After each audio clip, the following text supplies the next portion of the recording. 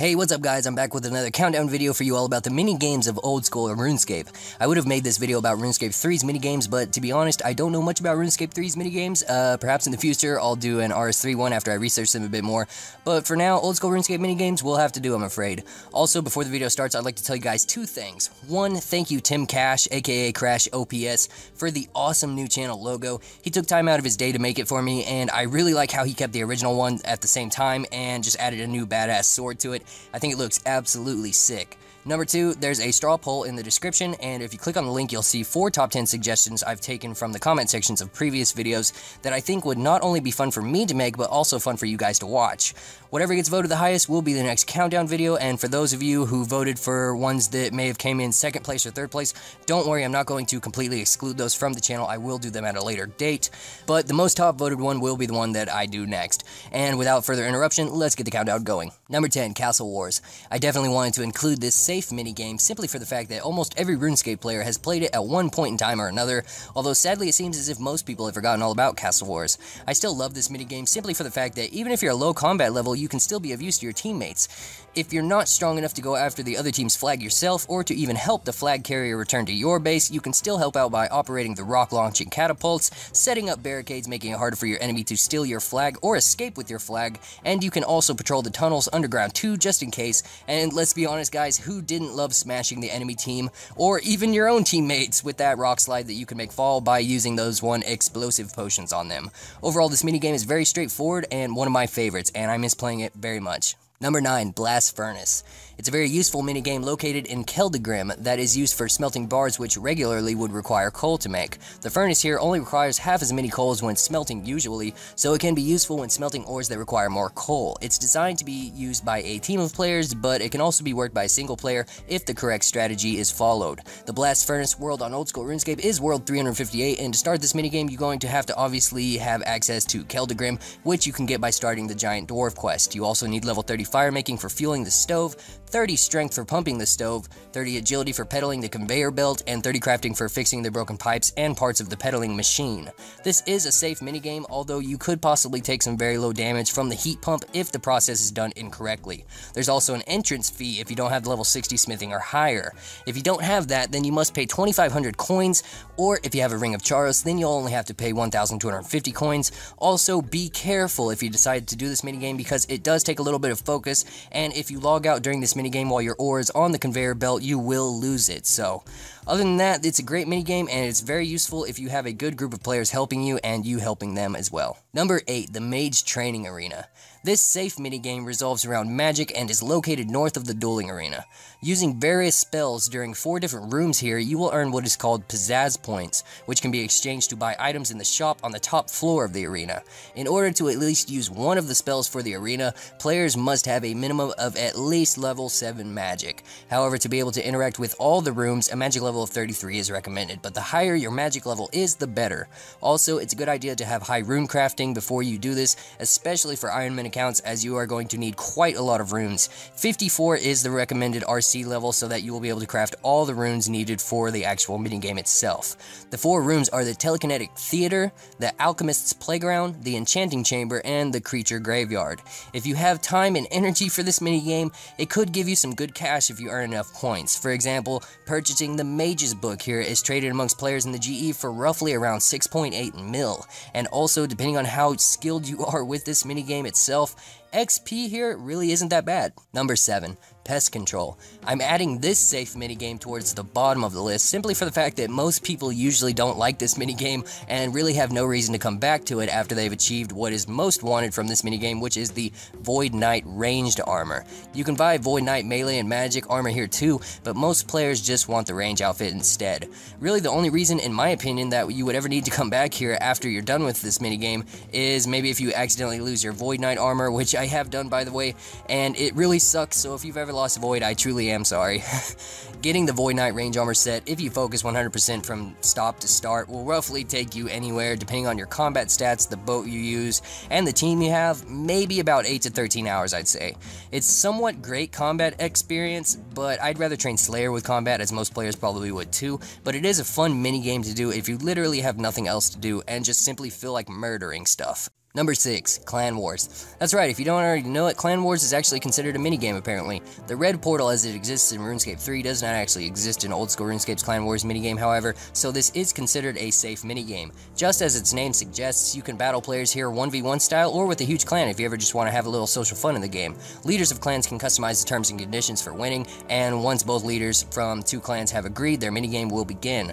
Only ranking members of clans who are captains or higher can initiate challenges, and will be notified in the clan chat that a war has begun and can enter the purple portal. There's a 2 minute timer and the wall separating the clans in the map, and at the end of the timer, when the wall collapses, the battle begins. Players who die are sent to jail depending on the game option and can go back in or will be unable to fight again. There's also an option to watch the fight at any time via the orbs scattered around across the battlefield maps. In addition to the purple portal, there's also a free-for-all portal too, and players will recognize it by its white color.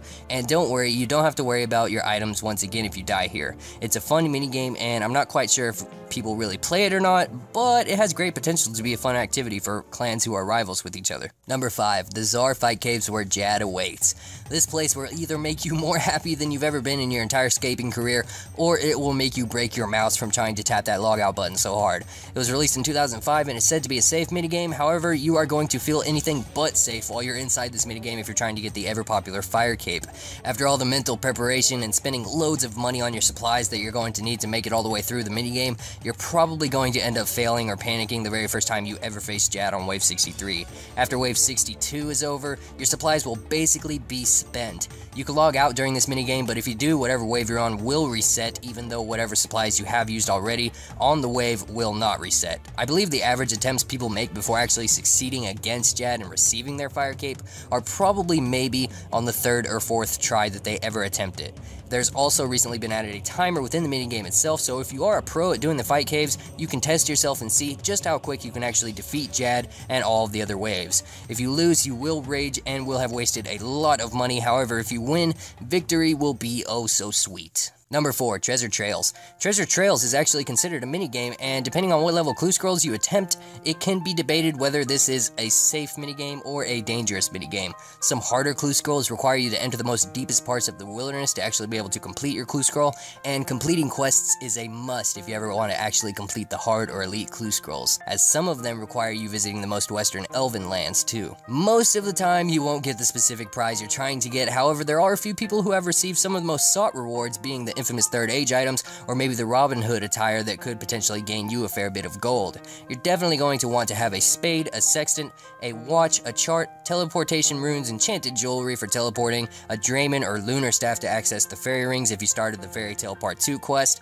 loads of super energy potions and stamina potions, and a good bit of GP in your inventory for faster transportations for like using the charter ships or items needed for emote related clues. I personally don't really like doing clue scrolls. I have a hard level in my bank right now that's been there forever, uh, and I started it, but I needed to have completed all the quests required to get to the Elven Lands before I can actually continue it, so I sort of quit on that one for now. If any of you are doing a clue scroll right now, then I wish you all the best of luck, and I hope you get the reward you're looking for. Number 3, Barbarian Assault. I might be biased placing this safe minigame at number 3 in the countdown because it is actually my favorite minigame of all time. However, I definitely think it deserves a more higher spot on the countdown simply for the fact that you can receive a fire torso in the game, which is one of the best plate bodies you can have in RuneScape next to the Bandos chest plate in 07. And also because of the penance rewards it also gives you that could potentially lower your weight and help you with your skilling.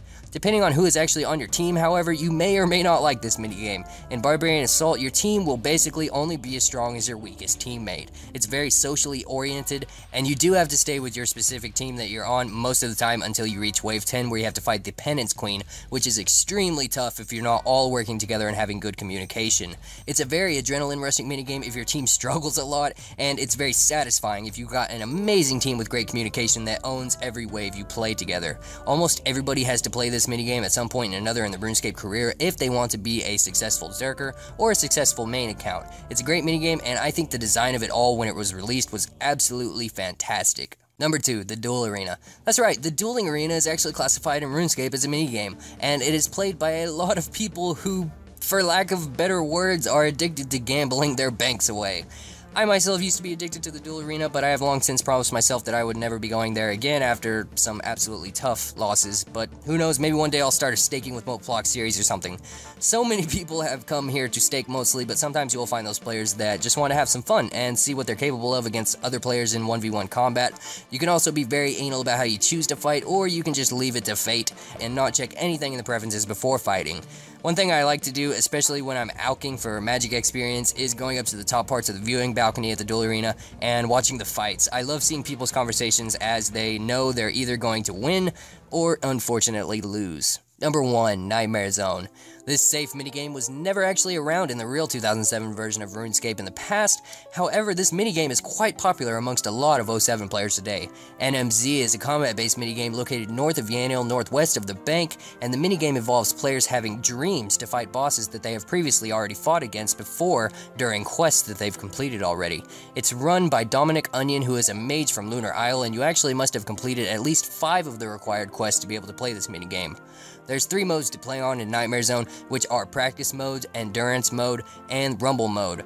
Practice mode is free, and endurance is 1k coins for the normal mode of it, and 5k for the hard mode, and rumble requires 2k for normal mode and 6k for hard mode. If you log out inside the arena, your dream will end as if you died, and you will not be able to return to the arena if you logged out also. The rewards you can receive from here from your earned points from inside the minigame are quite nice though, and are located in a chest near Dominic, and they are split into three categories which are resources, upgrades, and benefits. Resources include herblore ingredients, elemental runes, and items that are only obtainable via the minigame such as compost potions, scrolls of redirection, and the upgrades can imbue certain items for reward points, which increases your stats as a whole, and the benefits category of rewards includes certain potions that can only be used within the minigame itself, further helping you continue your journey through your dreams next time you play. It's a great minigame and you can also solo everything with some Guthan's armor, or you can have a team in Rumble mode, or play with your friends for insane combat experience, or just for fun to revisit some quest bosses you might miss murdering. That's it for this countdown, and if you know what I should count down next, post it in the comments and let's make it happen, guys. Thank you so much for almost 33,000 subscribers already. Like, can you guys ever just slow down? Just, just for a little bit. I'm just kidding. I'd also like to thank these people who donated recently. You guys really helped me out quite a bit with your donations, and I appreciate every single one of you, especially those of you who even told me beforehand that you were going to donate, and you actually kept your word with it. Like, that's just insane, so thank you. I really do appreciate you. Also, I really, really wanted to run something by you guys. This could potentially put out another 100 plus videos on this channel for the future. I'm thinking about starting a RuneScape lore episode series, and the way I would edit it would be be sort of like how I edited the timeline video that you guys really liked. I'd start from pre-first age and just keep working literally until uh, the sixth age, and that would be the end of the series. Um, the way it would work would be pre-first age part 1, part 2, part 3, part 4, and then go into the first age, part 1, part 2, part 3, and, you know, that's just how it would work all the way up until the sixth age, and it would be a lot more videos out on the channel. It would be so much work, but you guys are definitely worth that if it's something that, you know, would entertain you guys, because I feel like like a lot of people don't know much about the lore of RuneScape, and myself included, actually. So it will be fun to learn with you guys about it. So definitely let me know what you think about that suggestion in the comment section for sure. And no, don't worry, I will not stop doing countdown videos if I start doing lore videos. One more thing, I have purchased a Lenovo Erazer X315 for those of you who are curious as to what type of gaming computer I'm going to have here soon uh, to play some games and start streaming. And I might also upgrade it a bit. It can be upgraded just a little bit, but I'm not sure if I'm going to do that anytime soon yet. Uh, but it will be here in about 45 business days, so I'm really looking forward to that and being able to try streaming out.